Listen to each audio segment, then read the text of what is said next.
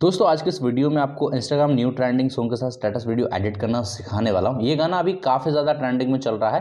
पतली कमरिया तो तेरी तो ये आपने ज़रूर से सुना होगा। तो किस तरीके से आप भी अपने फ़ोटो को ऐड करके ऐसा स्टेटस वीडियो एडिट करेंगे। तो चलिए शुरू करते हैं। मैं आपको बिल्कुल कंप्लीट स्टेप बाय स्टेप सिखाने वाला हूँ। अगर आप इस वीडियो को कंप्लीट देखेंगे, तभी आपको सब कुछ बिल्कुल समझ में आ जाएगा आसान तरीके से। अगर आप वीडियो को कंप्लीट नहीं देखेंगे तो आपको कुछ समझ में नहीं आएगा। तो प्लीज़ आप वीडियो को कंप्लीट देखना, ताकि आपको सब कुछ समझ में आ सके ओके यहाँ पर आपको सबसे पहले अपने मोबाइल फ़ोन में अलाइट मोशन एप्लीकेशन को ओपन कर लेना है। अगर आपके पास ये एप्लीकेशन नहीं है तो इसका लिंक मैं आपको वीडियो के डिस्क्रिप्शन में दे दूँगा।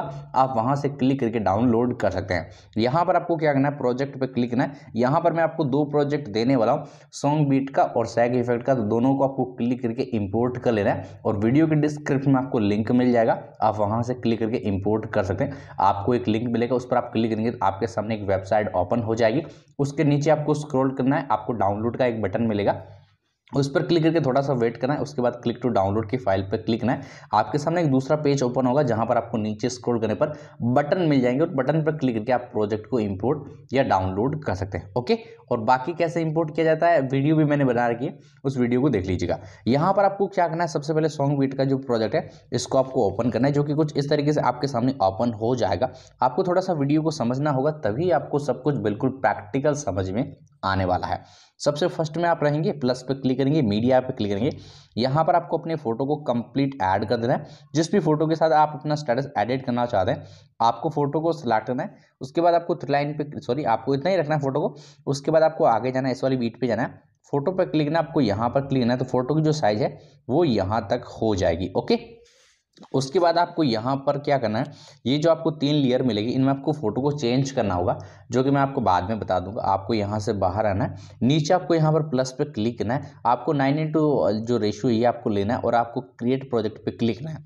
यहाँ पर आपको प्लस पे क्लिक करके मीडिया पे क्लिक करना है। यहाँ पर आपको क्या करना है? जितने भी फ़ोटो आप यूज़ करने वाले हैं स्टेटस के अंदर कम से कम आपको छः से सात फ़ोटो का यूज़ करना होगा। तो आपको क्या करना है, उन सारे फ़ोटो को, उन सारे फ़ोटो की जो साइज़ है, वो बिल्कुल आपको फिक्स रख लेनी है। मतलब नाइन इंटू सोलह के अंदर रख लेनी है। तो यहाँ पर आपको सबसे पहले उन फ़ोटो को यहाँ पर ऐड करना है। फ़ोटो को सिलेक्ट करना है थ्री लाइन पे क्लिक करना है और आपको यहाँ पर फिल कंपेसन एरिया पर क्लिक कर देना है।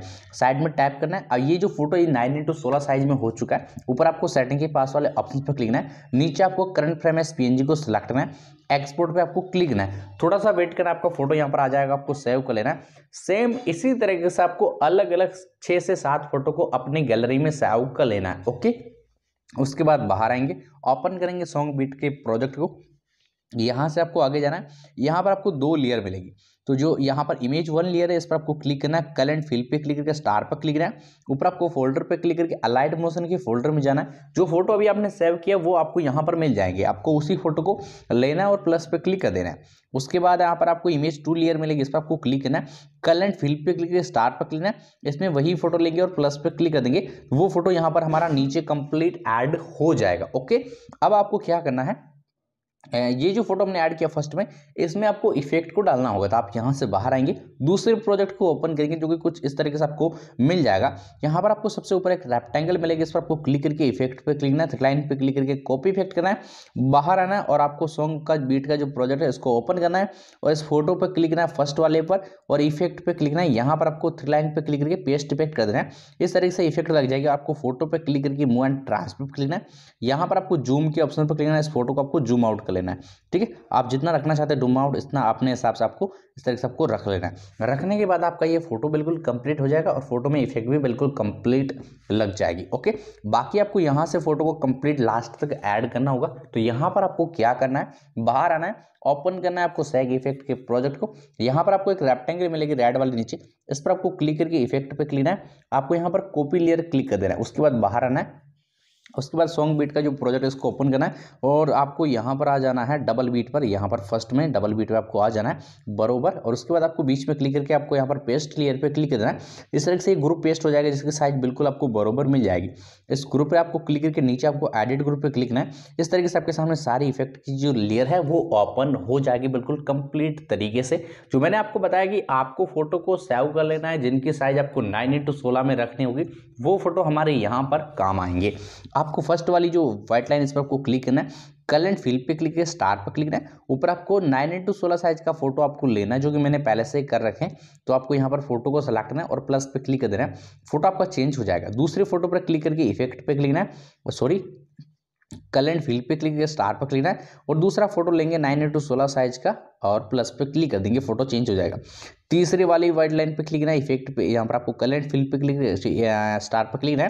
और तीसरा फ़ोटो आपको लेना है और प्लस पे क्लिक कर देना मतलब इसी तरह से आपको जो जितने भी यहाँ पर लेयर मैंने ऐड करके उसमें सभी में आपको इसी तरह से फ़ोटो को चेंज कर लेना है। यही प्रोसेस होगा, आपको क्लिक करना है कलेंट फ़ील्ड पे क्लिक है स्टार पर क्लिक है और नीचे स्क्रोल करना है। और यहाँ पर आपको फ़ोटो को सिलेक्ट करना है और प्लस पे क्लिक कर देना है फ़ोटो ऐड हो जाएगा। दूसरी लेयर पे क्लिक करना है कल एंड फिल पे क्लिक करना स्टार पर क्लिक करना है, नीचे स्क्रॉल करना है, दूसरे फ़ोटो को आपको यहाँ पर लेना है और प्लस पे क्लिक कर देना है। सभी फ़ोटो की साइज़ आपको नाइन एट सोलह रखनी है ताकि यहाँ पर आपको इफ़ेक्ट में कोई भी दिक्कत नहीं आएगी। अगर आप किसी भी फ़ोटो की साइज़ को अलग रखेंगे तो आपको दिक्कत आएगी। इस तरह आपको सभी में फ़ोटो को चेंज कर लेना है। चेंज हो जाने के बाद ऊपर आपको क्लिक करना है सॉन्ग बीट की प्रोजेक्ट पर यहाँ पर आप आगे जाके देखेंगे, देखिए इस तरह से आपकी जो फ़ोटो है, वो यहाँ पर कंप्लीट ऐड हो जाएँगे, ठीक है? अगर यहाँ पर ग्रुप की साइज़ अगर छोटी हो जाती है तो आपको बिल्कुल लास्ट में जाना के ऊपर जो ग्रुप लेयर है, इस पर आपको क्लिक करना है ऊपर वाली पर और आपको सिंपल से यहाँ पर क्लिक करना है साइज़ बिल्कुल वहाँ तक बिल्कुल बरोबर ऑटोमेटिक हो जाएगी ओके आपको फ़ोटो चेंज करने के बाद आपका जो स्टेटस है वो कंप्लीट बन जाएगा। अगर आप अपने स्टेटस के अंदर एस इफ़ेक्ट का यूज़ करना चाहते हैं तो आपको यहाँ से बाहर आना है ओपन करना है सैग इफ़ेक्ट के प्रोजेक्ट को। यहाँ पर आपको चार लाइनें मिलेगी, एक, दो, तीन और चार, ठीक है? ये चारों को आपको देख लेना है इन चारों को सिलेक्ट करना है, इस तरीके से स्टेप बाय स्टेप चारों को आपको सिलेक्ट करना है और आपको यहाँ पर बीच में क्लिक करना है, यहाँ पर।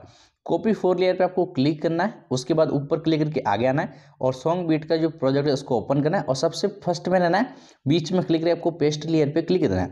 चारों लेयर यहाँ पर पेस्ट हो जाने के बाद बिल्कुल लास्ट में जाएँगे।